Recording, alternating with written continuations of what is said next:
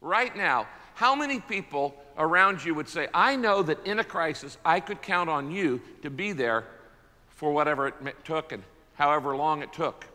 The Bible says two are better than one. If one falls down, his friend can help him up. But pity the man who has no one to help him. The Bible tells us that wise friends are a gift of God. And what is a characteristic of a friend? Look at the next verse. Friends love through all kinds of weather. Now, in this series, we're going to look at for four weeks helping friends through tough times. We're going to talk about four common crises that people have all around you all the time divorce, debt, depression, and death. And we're going to talk about how next week we're going to look at how do you help a friend going through a financial crisis. You know anybody like that? Like everybody?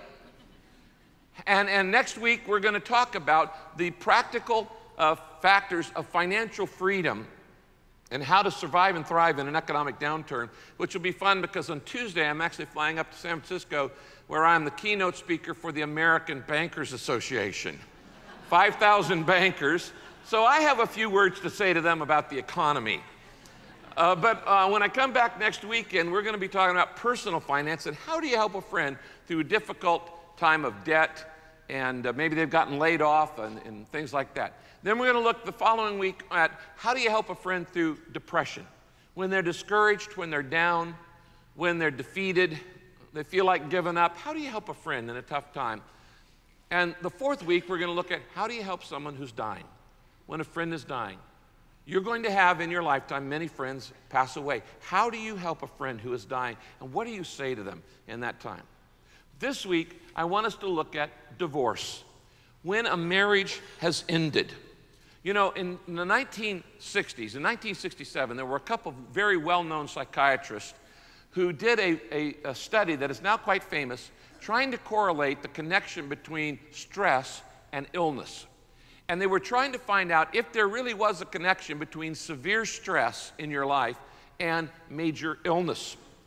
Thomas Holmes, Richard Rock conducted this study of 5,000 medical patients, and as a result, they developed a scale of 43 common stressful events. And uh, these are things that people go through in life, and they gave them numbers based on this study from 1 to 100. 1 being no stress, and 100 being, uh, you know, the most stressful thing you could do in life. And they discovered that anybody with over 300 points of stress was at risk of developing a major illness during that year. Now, what was interesting to me was that the most stressful event in life, they concluded, is the death of a spouse. That is the most stressful thing you can experience in life, the death of a spouse. It gets a, a rating of 100, and many of you have gone through that. Then the second most stressful event is a divorce from a spouse and that got a 73. The third most stressful event in life is a separation from a spouse, which got 65 points.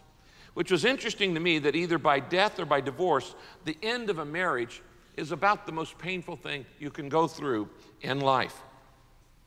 Now, this weekend, we're not going to look at how to prevent a divorce. That's another message.